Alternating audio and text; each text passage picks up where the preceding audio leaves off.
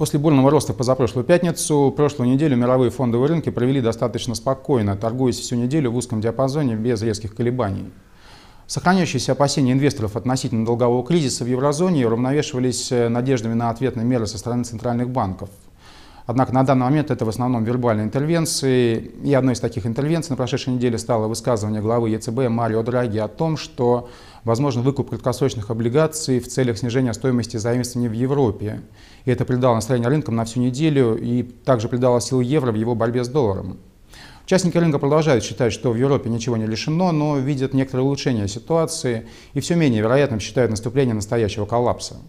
С момента выступления Драги две недели назад, когда он сказал, что готов сделать все, что нужно, чтобы сохранить евро, индекс FTSE 100 прибавил более 6%, DAX около 9% и САС 40 в районе 12%.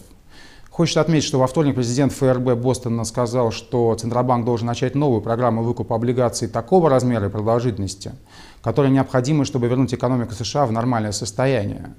И это сказал участникам рынка о том, что некоторые члены ФРС выступают за более агрессивные меры поддержки восстановления экономики. Однако некоторые инвесторы видят проблему в том, что сильный рост последних недель требует продолжения, для продолжения большего количества хороших новостей, которых на сегодняшний день нет, и ожидать разрешения долгового кризиса в ближайшее время, разумеется, также не приходится. И в настоящее время мы видим несколько иррациональную картину, когда плохие экономические данные положительно влияют на рынки вследствие увеличения надежд на меры центральных банков. И хорошие данные уже закономерно положительно влияют на рынки, а негативное влияние оказывают лишь выступления представителей финансовых властей, когда инвесторы в них слышат недостаточно об ожидаемых мерах стимулирования. И так как на прошедшей неделе таких высказываний практически не было, то рынки очередную неделю показывали рост – правда не выдающийся. Хочется отметить, что вышедшие в конце недели данные по торговому балансу Китая несколько изменили картину.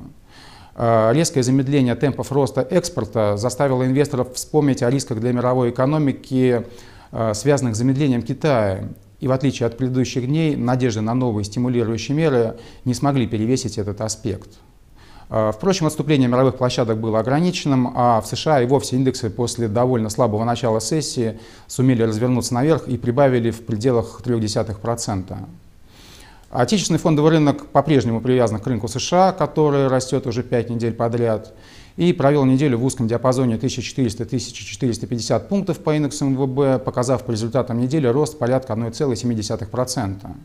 Текущую неделю индекс открывает в новых попытках штурма отметки 1450 пунктов. Э, в этом ему помогает остающийся на высоких уровнях нефть, цена сорта бренд, которая составляет на сегодняшний утро свыше 113 долларов за баррель. В пятницу днем цены отступали со 113 до 111 долларов за баррель на фоне китайской статистики и снижения Международным экономическим агентством прогноза роста спроса на 2013 год. Однако уже в пятницу цены резко развернулись наверх, а сегодня утром обновили трехмесячный максимум. Одним из факторов поддержки стали очередные опасения обострения ситуации вокруг Ирана.